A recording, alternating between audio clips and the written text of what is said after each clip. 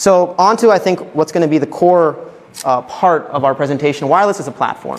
So what do we mean when we talk about this? Um, we mean that as Meraki Wireless has evolved and scaled as a product, we found ourselves going into richer and richer and more, more and more complex environments. Customers with higher end needs. Customers, for example, that want to integrate with their back-end databases. Customers that want to integrate with their identity management systems. So talking large scale enterprise as well as managed service providers and also, and also things like retail, right? So if you're a retailer and you want to show location-based coupons, or you want to uh, run email marketing campaigns as you collect email addresses from customers that walk into your stores and you want to run an email marketing campaign. So we've been forced over time to think about not only our core value proposition of simplicity, but how do we build around that and how do we create an ecosystem of tools and services so that partners can build services, partners can build apps, customers can deploy and facilitate more and more complex use cases. Um, so I think this kind of falls into two areas. One is kind of customer engagement in terms of building mobile applications, in terms of captive portal engagement, and the second is more um, enterprise and managed service providers integration. So that's integration with identity management databases, so on and so forth. So uh, here's kind of a visual snapshot of what a kind of more traditional enterprise integration might look like. So if you look at an enterprise infrastructure, you're talking about them having their own network monitoring tools. Tools like SolarWinds and Nagios. And yes, they can rely on the Meraki dashboard, but they may want to pull information in into their own existing databases and systems so that they can basically have that single pane of glass with any legacy architectures they have. Identity management, um, is, is a very core one. So if you're a large enterprise and you have hundreds and hundreds of IT admins, you don't necessarily want to now manage those IT admins on the Meraki dashboard side. You want to have a central repository, right? Same with corporate databases, same with ticketing systems, right? So if you're a service provider and you want to allow your, your end customer to open up a ticket with you directly as opposed to opening up a support ticket with the Meraki support team, how can we give you tools to white label the platform, right? Especially as we grow and scale. Um, so over time, we've been adding more and more APIs, and we've been evolving this rapidly. So first we started with kind of the, kind of the industry standard, things like syslog, things like the external captive portal API, which can redirect users and give you certain parameters that you can use to identify access points and users. Um, things like uh, real-time location services. But more recently, we've added some kind of more innovative tools like our CMX API, which we'll take a deeper look into, which lets you actually see in real time where people are, as well as SAML for single sign-on. So the idea here is how do we leverage the Meraki cloud and make it dead simple for you to integrate with your own backend systems and build applications on top? Here's a look at our CMX API. So the CMX API is basically a real-time post from the Meraki cloud of all associated and probing client data. So let's say you're walking by a store or you're walking by this, this office. As long as your device's Wi-Fi chipset is switched on, the Meraki infrastructure can detect those devices and actually perform a real-time HTTPS post of a JSON file to an analytics backend, right? It's also updated in a geofencing area? I'm sorry, what was that? Is it also updated in a geofencing area within MDM? Uh, right now, we don't have a tie-in of this API to geofencing, but we can explore that in the future if it's useful. Yeah. So uh, previously, up until about a couple of months ago, uh, this real-time API included things like the AP MAC address, client MAC address, RSSI, and timestamp. And we basically opened up to the market and we said, okay, here you go, here's this API, let's see what applications you can build on top of that. And we got a lot of tremendous feedback saying, hey, this API is brilliant, but we would like to see even more data. We would like to get and extract more data so that we can do more with use cases. So what we've done, actually we've been beta testing this, is we've added several parameters to this API based off of feature requests. And we're actually going to be open sourcing um, a sample application that can consume the API that you can use to plot coordinates. Uh, Katie is going to be demoing that. I see Blake uh, smiling over there because he got early access to that API. So the, the, the, API extension, you'll see the new format on the right side there, and you'll see that we've added a number of parameters that basically let you extract richer amounts of data. So the client is now associated, will include the IPv4 and IPv6 IP address of that client, um, as well as the SSID name of that client. Um, and I think the most exciting thing is you can now start to profile devices based off the manufacturer, based off what operating system that device is running. And also you can engage now in more elaborate use cases based off location. So if you place the access points on Google Maps, we'll include now lat long coordinates of where those clients are. And if you've placed the access points on top of a custom floor plan, we'll also include the XY coordinates. Um, and this API is already being beta tested by some large partners, and we've already seen some very cool things being done with it. Things like location-based coupons and services. Things like mobile applications and for, for wayfinding inside a store. In fact, there's a large-scale uh, toy retailer that's doing a nationwide Meraki rollout right now, and they're leveraging this API to build a wayfinding app so that when you walk into the store, you can see where you are and you can basically navigate throughout the store. Um, so that's really, really exciting, um, and we're also releasing that sample web application for consuming the data, um, which I think is going to be very compelling. Um, and I think it kind of, the, the, the philosophy here is um, not only do we want to build more and more APIs, but we want to make it as turnkey for you to leverage those APIs and build applications, right? So I think the, the, the platform, the kind of platform play that we're going after now in terms of let's open up more interfaces is very exciting. But if you look at the core API itself, it's not, it's not highly differentiated in terms of uh, the actual content that you can get. The, the Meraki differentiation comes in in terms of the ease of use of how quickly you can set up the API, right? And this is feedback that we're getting from our customers and partners saying, you know, this is awesome because A, it cuts my time to market in terms of how quickly I can build applications and provide them to customers. And B, it allows me now as a partner, as a value-added uh, reseller or value-added analytics partner to actually uh, POC and trial my application quickly and effectively, right? Um, here's an example of a large-scale retailer in the UK, think 7-Eleven of the UK, basically. Um, and this is fairly exciting. What they're doing is they're extracting data from the API, and then they're overlaying it with data from their point-of-sale system. So the red bars are basically the number of transactions that are happening um, in, this, in this store between certain days. And what they've done is they've overlaid the number of passerbys as well as the number of visitors on top of this transaction data, right? So it kind of lets them correlate and see, okay, uh, which hours of the day have the most transactions uh, compared to the most passerbys? Is there a correlation there? How strong is that correlation? How does that correlation vary between different sites and different stores, right?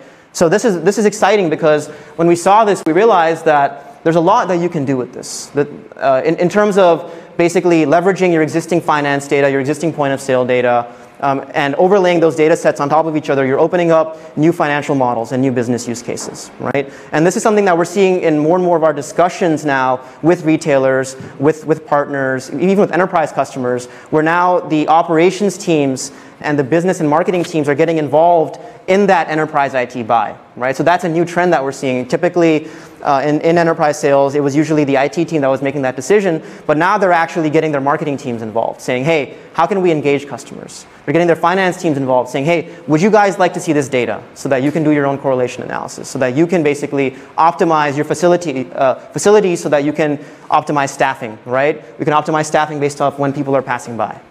So that, that's, that's kind of exciting because it again extends the kind of traditional value proposition of what was considered a IT cost center, hey, enterprise networking now, and it lets you build apps on top and it lets you derive more value from that platform. It also makes the, uh, makes the sales process more exciting because now marketing teams are getting involved in funding, funding some of these initiatives. SAML integration.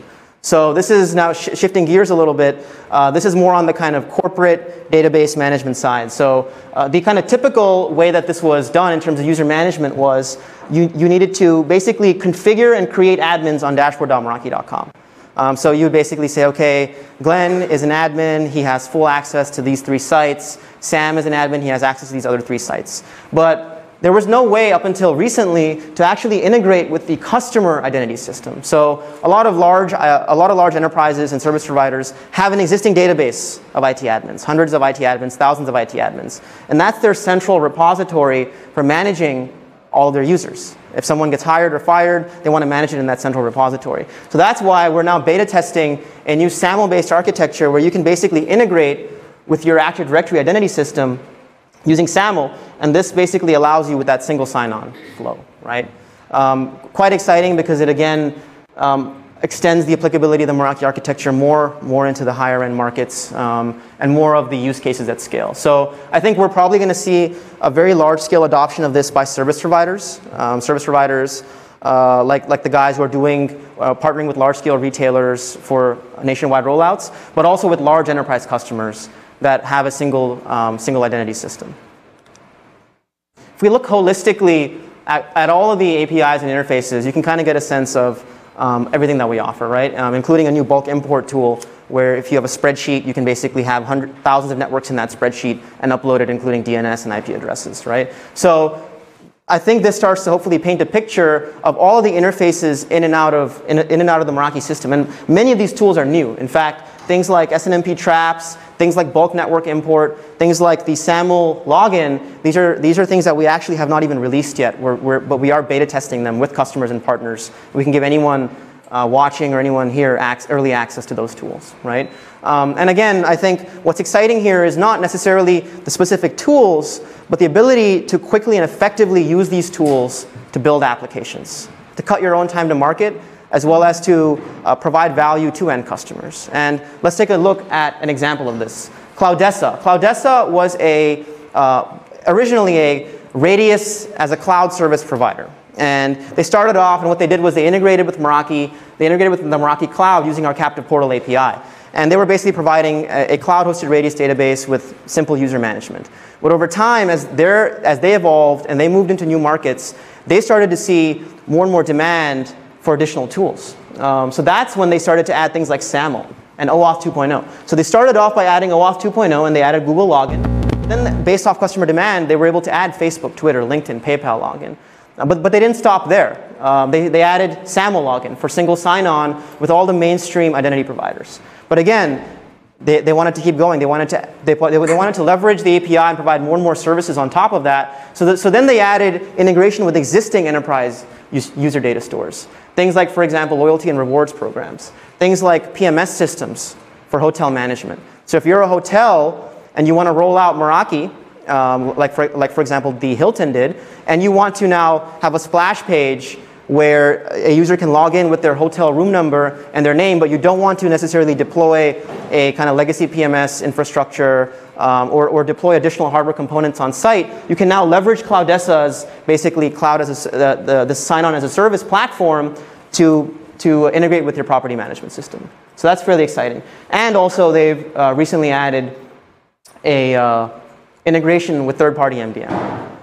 We weren't thrilled about this because we do have our own MDM we've been evolving over time, but it is an open API and we want to make sure that our customers can meet whatever use cases they're looking to do. And what happened for these guys was they, they added all these tools by leveraging Meraki as a platform and uh, they were eventually acquired. So Cloudessa was recently acquired by Global Reach. Um, so fairly exciting for them because uh, Global Reach is kind of a, a large-scale um, analytics and retail solutions provider company. And now they're planning on offering this um, as a platform to their end customers. So hopefully this, this starts to illustrate some of the kind of ease of use benefits of that wireless as a platform and some of the solutions and architectures that you can build around that. We've, we've managed to build a pretty rich ecosystem. Um, and this is probably an oversimplification in terms of the different categories of types of partners. But hopefully it starts to give you an idea of uh, some of the buckets, right? So we have analytics platforms, uh, companies like Euclid and Swarm and Nearbuy. Uh, Nearbuy is particularly exciting because they actually take in the CMX API as well as some additional data, and they can tell a retailer if someone is, let's say, standing in your store and they're shopping on Amazon.com and they place something into their shopping cart, Nearbuy actually has tools where they can alert the store manager and say, hey, someone, is, someone just placed something into Amazon.com shopping cart, you should probably send your rep out to that customer and offer them a coupon in real time. Um, so this is kind of the analytics side of the house. Mobile app engagement companies, companies like Phunware, July Systems integrating with a new API. Um, July, for example, has their own very simple to use SDK that you can basically skin if you're a retailer. Um, and it lets you basically create things like wayfinding applications um, and blue dot functionality inside the mobile app quickly and effectively. And finally, captive portal providers. Um, Katie's going to give you guys an overview of Splash Access. They've done some phenomenal stuff. And Purple Wi-Fi is a great example. Purple Wi-Fi has a, uh, has a lot of rich tools for, for example, Facebook integration. So they can tell you, um, if you roll out inside a mall, they can tell you, okay, here's the demographics of uh, users in this part of the mall versus that part of the mall. Right? So I think whenever we, whenever we pitch this to customers, our kind of leading pitch is always, look, Meraki has very rich interface Um, it's, it's completely self-contained. It's very easy to use. We have things like basic Facebook integration. We have things like cloud-hosted splash pages. Um, and that's usually good enough for kind of the, the core of the market. But there is this high end of the market that is, is evolving and changing quickly over time. And they have richer needs. They have needs, for example, for um, analytics. They want to do real-time couponing. They want to build mobile apps. And they can either do that themselves by leveraging the API, or they can use one of these turnkey solutions partners, right? So we don't necessarily lead by, by, by pitching these guys. We lead by pitching our own platform and our own APIs. But if, if, a customer does say, this is wonderful, and I do want a mobile app, but I don't, I don't have an in-house development team, can you guys tell me how I can build that mobile app? We have partners that we can, that we can point to. So this is exciting, and again, the universal feedback from all these partners has been that the, uh, because a lot of these partners do work with some of the other vendors in the industry as well. But the, the, the, feedback almost universally has been that the Meraki platform, because it's so easy to use, because it's so easy to set up, because it's very turnkey in terms of switching things on, it's all cloud-based, a lot of these APIs come from the cloud, they were able to develop their systems and services on top of our platform the most quickly and effectively out of anyone else, as well as they're able to then go in and uh, provide value to their end customers and demo and trial and POC quickly and effectively. Because all it takes is one access point, ship it out to the customer site. Meraki has probably the, the easiest free trial program in the industry, and then they can basically layer their services on top of that. I'm going to pass it off to uh, Katie Lane, who runs wireless product marketing, and she's actually going to show you some, some real life case studies of how some of these tools have been used. Perfect. All right, can you guys all hear me? Thanks for that introduction. Uh, my name is Katie Lane, as Raj mentioned. I am the product marketing lead for the Meraki product line. And I'm going to give you a couple examples, really building off of what Raj has been talking about, uh, showing you some customers who are really using these features in their own businesses. So hopefully I can get full screen mode here. So the first one I want to talk to you about is a company called Splash Access. And this is essentially their homepage for their entire business. Uh, and you can see that Cisco Meraki is prominent on this homepage. Uh, they've essentially built their entire business based on the Meraki captive portal uh, interface. So we've been able to uh, create all of these customized captive portal for their customer. So I can go ahead and navigate oops, to their products page. You can actually take a look at some of the things that they've made. They've gone ahead and taken our captive portal interface that we've already built out and then added third-party integration onto that. So here's just a few examples of some of the things they've done. Here's one for a coffee shop where they've been able to integrate this with, for instance, MailChimp for email marketing campaigns. So they can have the customer easily set up this splash page and then create automated email marketing campaigns without having to actually do anything on the customer end. All of this is already available in the Meraki platform. Uh, they've also been able to integrate video marketing campaigns. So where based on the location of that customer as they're logging in, they can target that customer with specific ads. So they've been able to integrate all of these third-party tools into this business. Uh, so you might be wondering, uh, why is this entire business built around Cisco Meraki and why did they choose Meraki? There's a lot of companies that could do the same thing. And it's really uh, based on what Raj was talking about, just the ease of use of the platform. They've been able to really easily uh, speed their business process, their sales process, do really quick POCs, and get their sales team up and running with Meraki uh, very quickly and get other customers going on the platform as well. The next one I'm going to talk to you about is actually uh, one of our MSP customers. I'm going to go ahead and log back in here.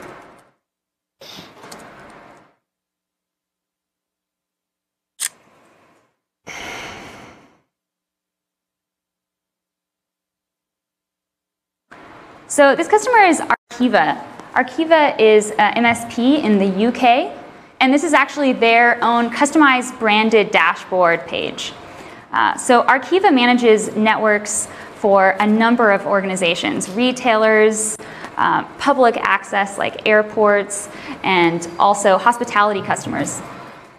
You can see on the right here, we're actually looking at 141 different networks that you can access from this dashboard page. And each one of these customers has their own customized experience in the dashboard that Arqiva has created for them.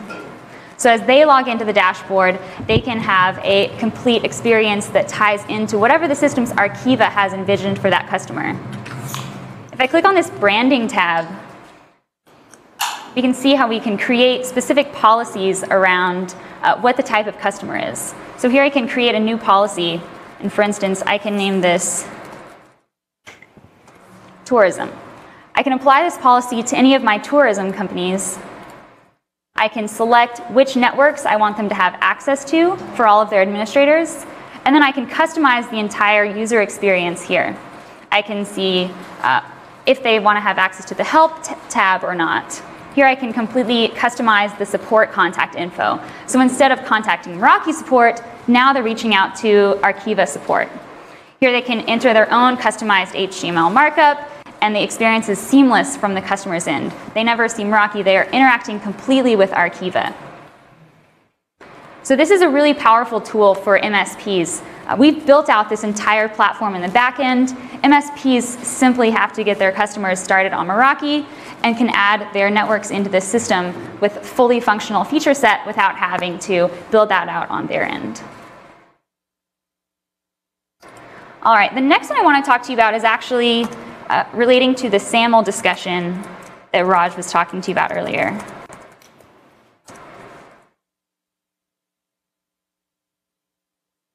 So SAML is security uh, accessible or extensible markup uh, language. So this is a protocol that is used to allow the identity, uh, identity provider to communicate with the dashboard in this case.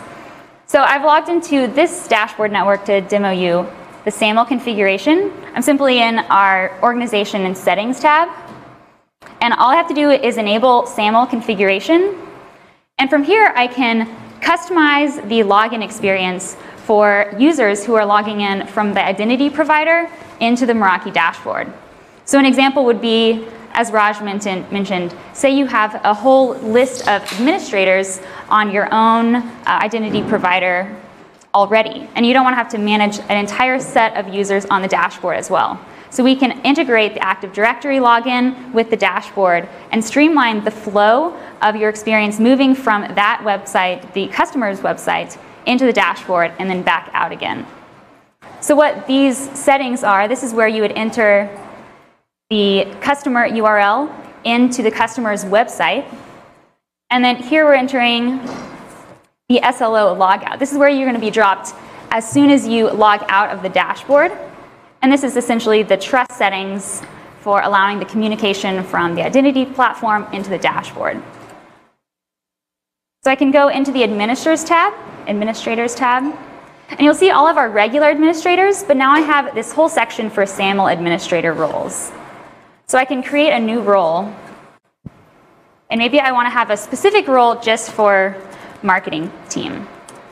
Thank you so much. So I can create privileges for this specific group of users, and these are integrated into those Active Directory user groups.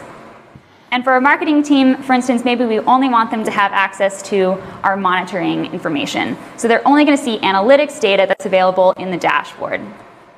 So I can create an administrator for these users. And now I can go and log in. Whoops. All right. So I can go ahead and log in uh, to the dashboard from this demo website that we've set up. So we made just a uh, fake website essentially and this is just to demonstrate what the process would look like if you are a TWC user and you were wanting to log into the dashboard and then come back out again. So I'm already logged in with my 802.1x credentials, and I can sign in here using my TWC credentials, and I'm dropped directly into a customized dashboard page. The flow is extremely seamless. I don't have to log into the dashboard separately. And as soon as I log out again, I'm brought straight back into that website. So this again is really, really powerful. You can completely streamline the process uh, for each of these customers. And also it streamlines the management process for the administrators so you don't have to remember to remove dashboard credentials if someone were to leave the company. All right, I have one more to demo. See. So Raj had mentioned how we had extended the CMX API. Uh, we've had this API for quite a while since we launched the product, but we've recently added a bunch of functionality around location.